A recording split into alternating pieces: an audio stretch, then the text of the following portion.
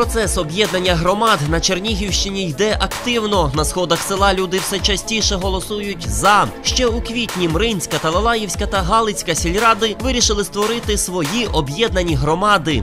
Три громади: наша Талаївська, Безулівська і Великодорізька. е, Дали своє е, рішення загальних е, сходів сіл про те, щоб об'єднатися в одну єдину Талаївську громаду. Вирішили. У нас є і вчилище є, і школа є. Е, Одне з найбільших на Україну підземних е, сховищ зберігання е, газу.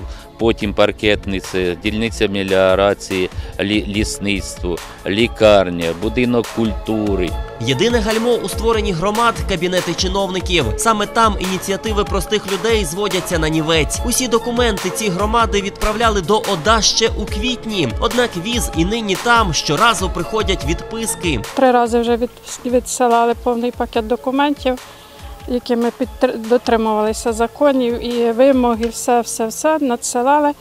Але на сьогоднішній день і досі немає позитивного висновку. Попри політику уряду та президента, їхні представники на місцях, замість того, аби допомагати громадам, вставляють їм палки в колеса. Тут е, майбутнього у громади нема. Талалаївська, Галицька та Мринська громади на собі відчули саботаж децентралізації від обласних чиновників. Їхні документи розглядають і дотепер. Навіть неправильно написана літера є приводом для чиновників відмовити громадам у їх створенні. Виправити таку помилку можна за хвилину. Однак бюрократична машина робить своє. Людям необхідно проводити всю процедуру спочатку. Знову проводять потрібно проводити сесію, тому що документи, як говорить шоста стаття закону, вони повинні повертатися на доопрацювання. А їм надходить відмова. Не доопрацьовуються документи, а йде відмова з обласної державної. Це для того, щоб затягнути час, затягнути цей процес.